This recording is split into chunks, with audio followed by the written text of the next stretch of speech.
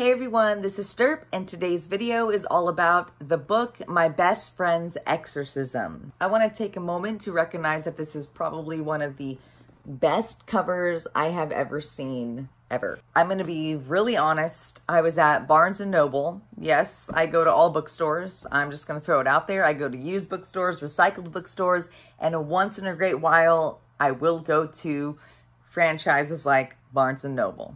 I'm a sucker for books in general. I don't care what bookstore it is. I will go in, I will look, shop, buy, not buy. I literally judged this book by its cover. I wasn't even looking for it. And I saw it. I saw the cover. I saw the colors and it just drew me in. I immediately grabbed it and was like, what the hell is this? This looks amazing. Look at this 80s retro everything. But this is epic. I just absolutely love the cover. I fell in love with it immediately. I picked it up and turned it around and read the back and then decided to buy it. So I'm going to read the back to you. This book packs all the magic of a summer horror flick. High school sophomores Abby and Gretchen have been best friends since fourth grade, but after an evening of skinny dipping goes disastrously wrong, Gretchen begins to act dot dot dot different. She's moody, she's irritable, and bizarre incidents keep happening whenever she's nearby. Abby's investigation leads her to some startling discoveries, and by the time the story reaches its terrifying conclusion, the fate of Abby and Gretchen will be determined by a single question. Is their friendship powerful enough to beat the devil, like an unholy hybrid of Beaches and The Exorcist?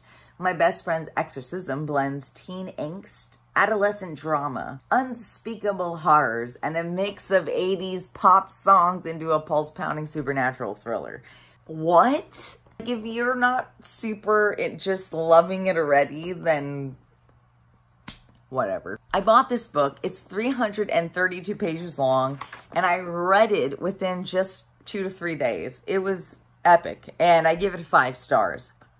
If you love the 80s, if you love horror, then this is absolutely for you. Grady Hendrix writes each character to perfection. All the all the I hate to say tropes, but there are tropes in it and they but they're perfectly done. So much so that you do not feel robbed. It's not uh, it's organically done, like every piece of it. It's funny. There are some hilarious parts, but it's very creepy and eerie. And if you love supernatural and exorcism type of stories, this is your book. Like you need to read it. It is perfect in that sense. And there were parts that were funny. And then there were pieces that I was so thrilled that happened.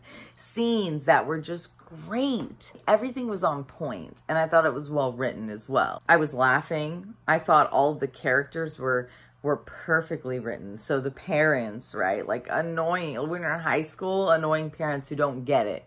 They think it's something else. Like the, like you're in your own world when you're in high school, right? When you're a teenager. Like you know things your parents don't know. Grady Hendrix does a great job in and making the reader feel really in tune with these high school girls and like, oh shit, like these parents are idiots. And if they, if only they knew, but they don't. They don't know the truth these girls go to like a Christian religious school and it's hilarious. The assembly scene, the scene with the assembly and the performance, I was laughing out loud. It wasn't cliche.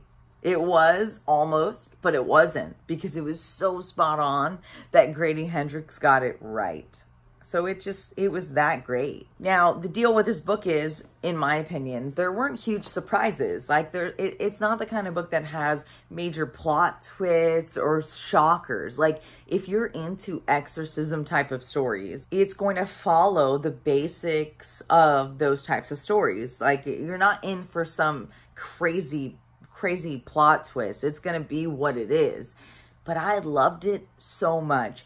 Even going into it, I knew. And the fact that there was a twist of, of high school adolescent coming of age, that made it unique. So you get the humor, you get, you do, like you get that funny side of high school life and that shittiness mixed with horror, mixed with nasty, gross horror and creepy things that occur. I thought it was it was entertaining. So that's the other piece. This is a very entertaining book.